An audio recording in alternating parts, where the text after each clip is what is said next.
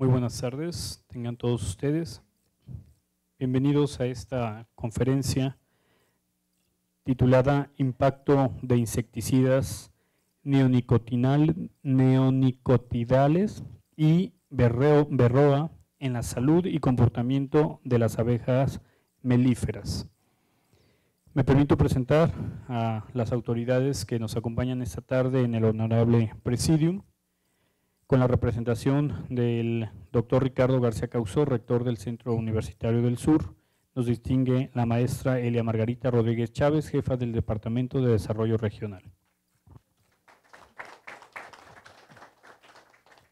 Se encuentra con nosotros también el médico veterinario Ramón Martínez Jiménez, delegado del distrito número 7 de Zagarpa.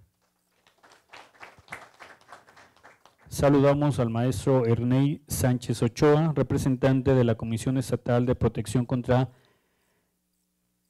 de Protección contra Riesgos Sanitarios de la Secretaría de Salud del Estado. Está con nosotros el señor Salvador Hernández Llerenas, delegado de la Federación Mexicana de Apicultores en el Estado de Jalisco. Asimismo, nos acompaña el doctor José María Tapia González, director del Centro de Investigaciones en Abejas de este centro universitario. Y saludamos a nuestro conferencista, invitado especial, el doctor Ernesto Guzmán Novoa. A continuación, me permito leer una semblanza del doctor Ernesto Guzmán Novoa, quien creció y estudió en Matías Romero, Oaxaca desde muy joven mostró interés en el estudio de los animales, lo que lo llevó a cursar la carrera de médico veterinario zootecnista en la Universidad Nacional Autónoma de México. Ernesto Guzmán se involucró en el estudio de las abejas melíferas desde 1978, año en que adquirió sus primeras colmenas y fungió como ayudante de profesor de la materia de producción apícola en la Facultad de Medicina Veterinaria y Zootecnia de la UNAM. En 1982 obtuvo el título de médico veterinario con una tesis sobre la nocemosis, una parasitosis del tubo digestivo de las abejas, y posteriormente realizó estudios de posgrado con investigación sobre el comportamiento y genética de las abejas en la Universidad de Davis en California, donde recibió los grados de maestría y doctorado en entomología en 1989 y 1992 respectivamente. Ernesto Guzmán Novoa ha trabajado, para varias instituciones, entre las que se incluyen la Universidad de Davis, California, la Zagarpa, la Universidad, Nacional Autónoma de México, el INIFAP y un par de empresas privadas dedicados al ramo de la apicultura. Desde 2004 labora como profesor de apicultura y genética en la Escuela de Ciencias Medioambientales de la Universidad de Guelph, en Ontario, Canadá. Además, es el director del Centro de Investigaciones en Abejas Melíferas de dicha institución. El doctor Guzmán Novoa cuenta con amplia experiencia académica y de investigación. No solo ha impartido cientos de pláticas y numerosos cursos en apicultura, genética, biología de la polinización e introducción al método científico, sino que ha sido responsable de múltiples proyectos de investigación. Durante su carrera, ha recibido recursos de más de 35 fundaciones, lo que asciende a varios millones de dólares, para proyectos de investigación y ha asesorado la tesis de más de 50 estudiantes que han obtenido grados de doctorado, maestría y licenciatura. Sus investigaciones se han enfocado a la genética, comportamiento y enfermedades parasitarias de las abejas. Esos estudios han contribuido al conocimiento de los mecanismos que confieren resistencia a las abejas contra el parásito Varroa que se alimenta de la sangre de ellas. También sus investigaciones han generado conocimiento sobre las bases genéticas del comportamiento defensivo de las abejas, destacando su contribución en la identificación de genes que afectan el aguijoneo de las abejas por primera vez en el mundo. Ernesto Guzmán estableció metodologías y un programa de mejoramiento genético con el que se desarrollaron tres tipos de abejas que incrementaron la producción de miel en 25% y que resultaron 50% menos defensivas que abejas no seleccionadas. Ernesto Guzmán Novoa es autor o coautor de más de 300 publicaciones que incluyen artículos científicos y técnicos, así como manuales, libros, capítulos en libros y resúmenes en congresos. Además, ha recibido numerosos premios y distinciones nacionales e internacionales entre los que se destacan dos reconocimientos por parte de Apimondia, Federación Internacional de Apicultores, dos de la Eastern Apicultural Society of North America por contribuciones, en el campo de la investigación. Además, recibió el premio Dr. Cabrera Valtierra como una distinción a la enseñanza de la UNAM. El doctor Guzmán es miembro del nivel 3 del Sistema Nacional de Investigadores de CONACYT dentro de la categoría de mexicanos en el extranjero. Es miembro también de más de 10 organizaciones científicas y técnicas, tanto nacionales como internacionales. Voy a ceder el uso de la voz al doctor Ernesto Guzmán. Bueno, les voy a platicar el día de hoy sobre eh, alguna experiencia que hemos tenido allá en Ontario, en Canadá, eh, respecto a estos factores, eh, los insecticidas neonicotinoides y el parásito barro. Antes de pasar a otras diapositivas y, este, y, la presento esta plática porque eh, me dijo el doctor José que el problema de insecticidas es un problema, parece ser aquí, y, barro es un problema en todos lados. Es un problema en Canadá, es un problema en México, es un problema mundial. Eh, en, mil, en 2009 eh, se perdieron más del 40% de las colmenas en la provincia de Ontario, Canadá. Canadá es un país que está dividido en 10 provincias y, dos y 3 territorios. Este, las provincias son el equivalente a los estados. Entonces, la provincia de Canadá, que tiene casi 4.000 apicultores y más de 100.000 colmenas, eh, perdieron aproximadamente el 40% de las colmenas en, el año 2009 y se ha venido perdiendo eh, a un ritmo de 30% cada año, más o menos la misma cantidad.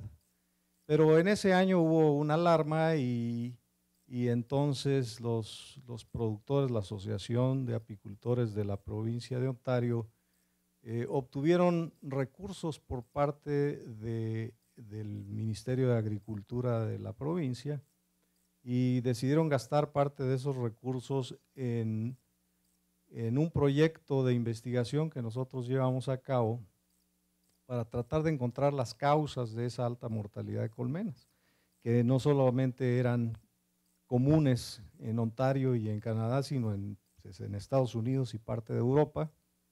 Los americanos lo bautizaron con el nombre del síndrome del colapso de la colonia. Eh, nosotros en Canadá no le damos ningún nombre, simplemente lo llamamos mortalidad de invierno. Y porque finalmente ustedes le preguntan a las personas que acuñaron este término de síndrome del colapso de la colonia, ¿Qué es el síndrome del colapso de la Y la respuesta es, no sé. Simplemente es, una, es un término para definir pérdida de abejas, despoblamiento de colonias o muerte de colonias. Eso es lo que es el síndrome del colapso de la colonia y es probablemente debido a causas multifactoriales, es decir, muchos factores intervienen para despoblar la colonia, muchos factores intervienen para matar a la colonia de abejas.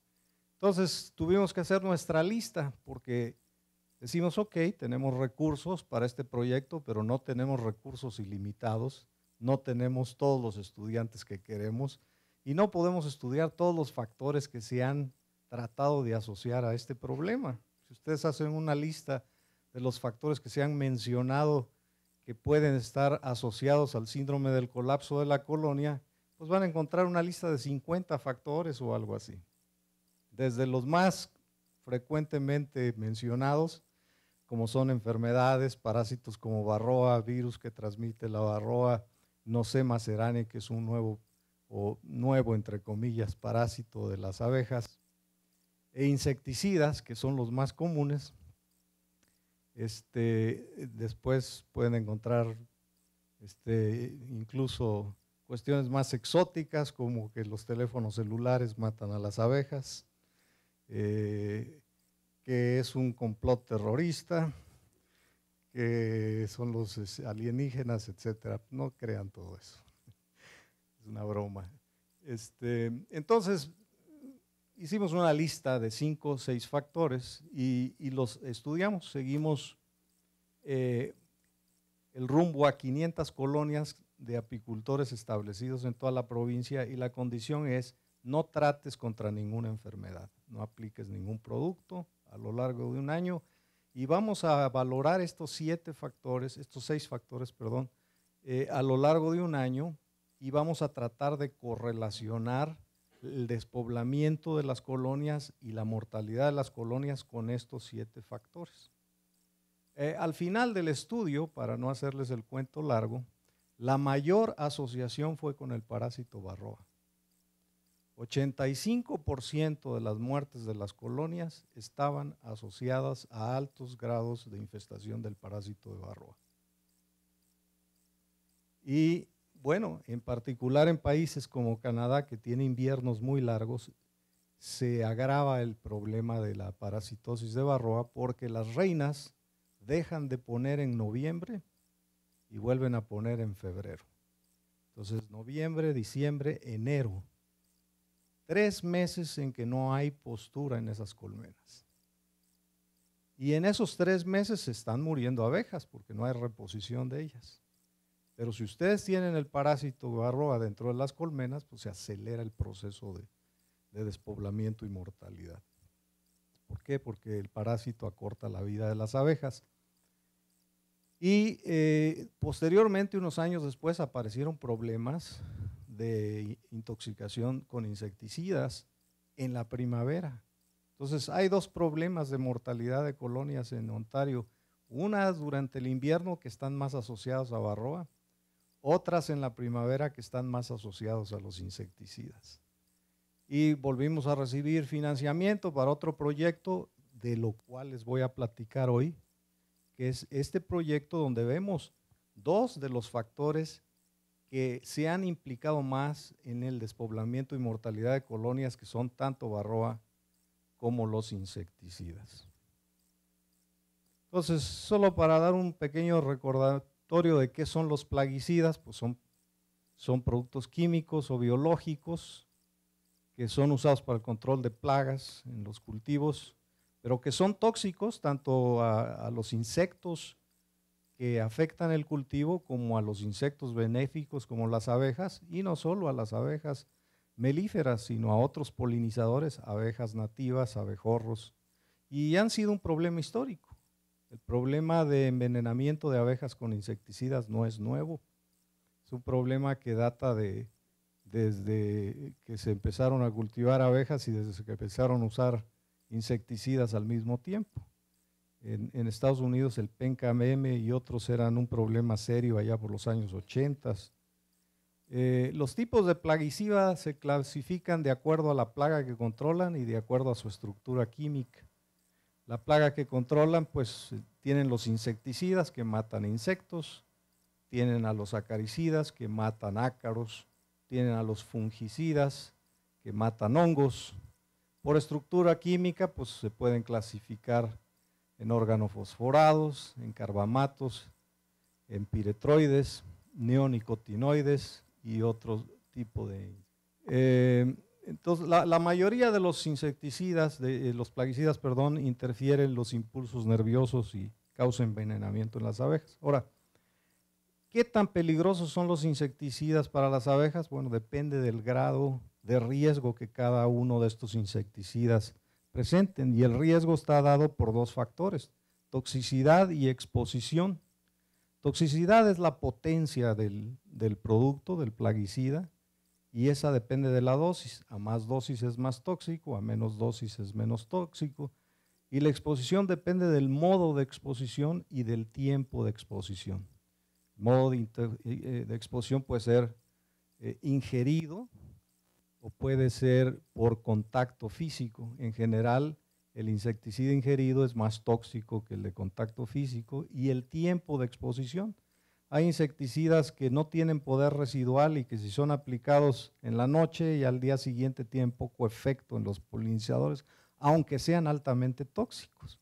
Entonces, eh, esa combinación de más toxicidad y exposición y riesgo puede variar porque un insecticida puede ser muy tóxico, pero si la exposición es baja hay bajo riesgo. O puede haber un insecticida que es poco tóxico, pero que tiene un poder residual que permanece en el medio ambiente por una cantidad de tiempo grande, días, meses, a veces años, puede resultar muy dañino a las abejas. Entonces es esa combinación entre la toxicidad de un producto y la exposición o el tiempo de exposición al producto lo que lo hace riesgoso para las abejas que pueden eh, estar expuestas al insecticida de, varias maneras. Por ejemplo, cuando se asperja, pues la abeja puede ser bañada con el insecticida. O bien cuando quedan residuos de el insecticida en las plantas y las abejas se posan en ellos, entran en contacto físico con el producto. Cuando el polen o el néctar son Ah, contaminados con insecticidas y las abejas lo colectan. El agua, los charcos en el lugar de cultivo pueden contener residuos de insecticida y las abejas toman el agua o toman el rocío. En fin, hay varias rutas por las cuales las abejas pueden eh, estar en contacto con los insecticidas. Y normalmente los plaguicidas, y en particular los insecticidas, siempre les dicen en la etiqueta cuál es la dosis letal 50. Eh, y eso les da una idea del grado de toxicidad de ese producto eh, en particular para las abejas.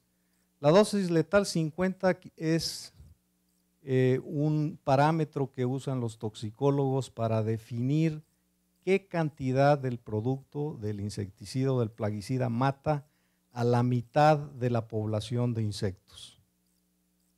Es decir, yo expongo 100 abejas a un insecticida, ¿cuánta dosis necesito para matar 50 abejas? O expongo 100 ratas a un insecticida, ¿cuánta dosis necesito para matar 100 ratas? Esa es la dosis letal 50 y la, no la traduje bien, puse ah, no, eh, lethal 2, pero debería decir DL. Bueno, eh, para que se den una idea, eh, el grado de toxicidad es muy bajo, es considerado muy bajo si la dosis letal 50 es de 1000 miligramos por kilo y así sucesivamente. Es alta a 20 a 99 miligramos por kilo y menos de 20 miligramos por kilo es extremadamente alta. menos de 20 miligramos por kilo equivale a 2.000 nanogramos por abeja. Entonces, aquí lo importante es que se den cuenta que entre más baja el valor de la LD50, más tóxico el producto. Y viceversa, entre más alta sea la dosis letal 50, es menos tóxico el producto. Entonces, eh, como decía, el, envenenamiento de las abejas por plaguicida ha sido un problema histórico de muchos años que normalmente se ha evitado porque bueno, los apicultores movían sus colmenas fuera de la zona de riesgo, pero ahora se ha convertido en un problema más serio porque cada vez se depende más en los cultivos agrícolas del servicio de polinización de las abejas. Por ejemplo, para darles una idea, en la provincia de Ontario donde yo trabajo, eh, hay 100 mil, grosso modo 100 mil colmenas. De esas 40 mil se van a otra provincia a polinizar el blueberry, mora azul le llaman, aquí, la mora azul. Entonces, eh, sin ese ingreso los productores eh, comerciales no podrían sobrevivir, porque ganan más de rentar las colmenas para mora azul o para o para frambuesa y otro tipo de cultivos, cerezas, miel que las abejas les producen. Entonces, cada vez hay más contacto entre los plaguicidas y las abejas por esta necesidad de los servicios de polinización de las abejas. En particular en la provincia de Ontario, Canadá, los insecticidas neonicotinoides son un problema actual. ¿Qué son los insecticidas neonicotinoides? Pues son insecticidas cuya molécula activa es similar a la nicotina del tabaco. Paraliza al insecto que quieren eliminar, que es un gusano que afecta, por ejemplo, el maíz, la raíz del maíz y otro tipo de insectos. Entonces se usa muchísimo para controlar plagas en maíz, en la soya, este, y, en general se usa eh, tratando a las semillas, entonces pintan las semillas, las ven de colores incluso porque quiere decir que ya llevan el insecticida impregnado en su superficie. Entonces estas semillas tratadas las impregnan directamente con, con los neonicotinoides, los más usados son el imidacloprid, el tiametoxan, la clotianidina, y, esos insecticidas eh, pues bañan, pintan a las semillas con el insecticida y son sistémicos. ¿Qué quiere decir que son sistémicos? Que después de que plantan la semilla, conforme crece la planta, los tejidos de la planta llevan el insecticida en todas sus partes. De tal suerte que en una planta de maíz la empieza a comer un insecto, este, una plaga, y se muere al comerse la, la, planta de maíz. Pero las abejas también recolectan polen del maíz, por ejemplo. Eh, ahora, estos insecticidas neonicotinoides eh, también se usan asperjados en los cultivos. Y no tiene mucho que se usan. Eh, se empezaron a usar a finales de los 90, principios del nuevo, del nuevo siglo. Pero hoy día son el tipo de, insecticida más utilizado en todo el mundo. Entonces, este, eh, los, las compañías que los producen, Bayer, Syngenta y otras, pues dicen que son insecticidas muy seguros, porque tienen baja toxicidad a los mamíferos, lo cual es cierto, pero tienen alta toxicidad a los insectos. Sin embargo, tienen una capacidad, un poder residual muy alto. están en la semilla, crecen con la planta, pero permanecen en el suelo hasta por tres o cuatro años. Aún si no se vuelve a usar semilla tratada en esos suelos por tres o cuatro años.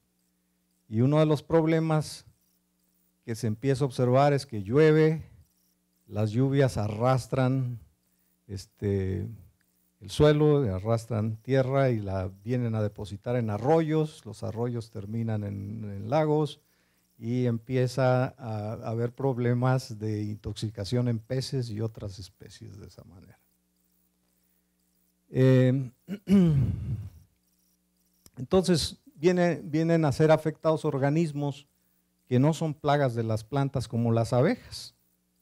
Y para darles una idea, en el caso de las abejas, son 10 mil veces más tóxicos que el DDT para las abejas. Entonces empezó a especular que muy posiblemente estos insecticidas tenían algo que ver con la mortalidad alta en Canadá y en particular con la mortalidad alta de abejas en la provincia de Ontario. Aquí les muestro una gráfica del porcentaje de pérdida de colonias por año en amarillo es eh, Ontario, la provincia de Ontario. En rojo, todo el país Canadá, el promedio de todo el país. No tenemos eh, estadísticas de pérdida de colonias para todo el país antes de 2007. Por eso la primer, primer año donde ven dos barras juntas, amarillo y rojo, es en 2007. Entonces, si amarillo es Ontario, rojo es la provincia de Canadá. En 2007, 2008, 2009, 2010 más o menos eran similar las pérdidas de colonias en Ontario contra Canadá, alrededor del 20%, pero en 2012 ya se disparó a más de 40% en Ontario y en promedio en Canadá 30%. 2012 bajó la mortalidad, pero Ontario todavía era más alto, perdón, era similar que, Canadá. Y los últimos tres años, 2013, 14 y 15, pues este, la pérdida de colonias fue muy alto, en particular en el año 2014 se perdieron casi el 60% de las colmenas de la provincia. Estamos hablando de 100 mil colmenas, se perdieron 60 mil de esas 100 mil. Eh, lo cual es, pues, es muy alarmante. Imagínense ustedes un ganadero que tenga 100 vacas y se le mueran 60. ¿Cómo sobrevive a los años siguientes? Es un, trancazo económico muy fuerte. Ahora los apicultores han recibido apoyo del gobierno para recuperar sus colmenas. ¿Cómo las recuperan? Pues de las vivas hacen divisiones e importan abejas, se importan paquetes de abejas de Australia y Nueva Zelanda, reinas de Estados Unidos, para repoblar las cajas que se han perdido tremendamente. Entonces, los apicultores empezaron a culpar directamente a pues, estos insecticidas neonicotinoides.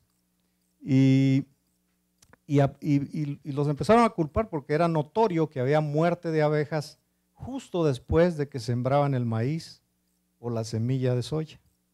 Entonces, cuando siembran el maíz, como en la fotografía superior izquierda, utilizan unas, sembradoras neumáticas. Y esas sembradoras neumáticas por presión de aire entierran la semilla, pero para que la semilla resbale por el inyector, le agregan un talco. Entonces el talco sirve como lubricante. Pero ese talco, que también sirve como lubricante para enterrar la semilla, se contamina con los insecticidas neonicotinoides, en particular con la clotianidina. Y luego, como ven ustedes esa nube de polvo atrás de la sembradora en la foto superior izquierda, todo ese polvo queda en el aire y lleva residuos del insecticida. Entonces ese polvo viene a caer en plantas que luego visitan las abejas, en árboles o en agua que visitan las abejas o eh, directamente en plantas donde ellas colectan polen y contamina el polen y recogen el polen y de pronto los apicultores empiezan a ver un montón de cadáveres de abejas frente a las colmenas. Y no es de extrañar que Ontario tenga más problemas de insecticidas que otras provincias en Canadá, nada más para darles una idea de la producción de maíz en el país, el 62% casi del maíz producido en todo Canadá se produce en Ontario. Y se produce utilizando 100% de semilla tratada con neonicotinoides. Toda la semilla que hasta el año pasado se vendía era tratada con neonicotinoides en los años 2012 y 2013 hubieron más de 400 casos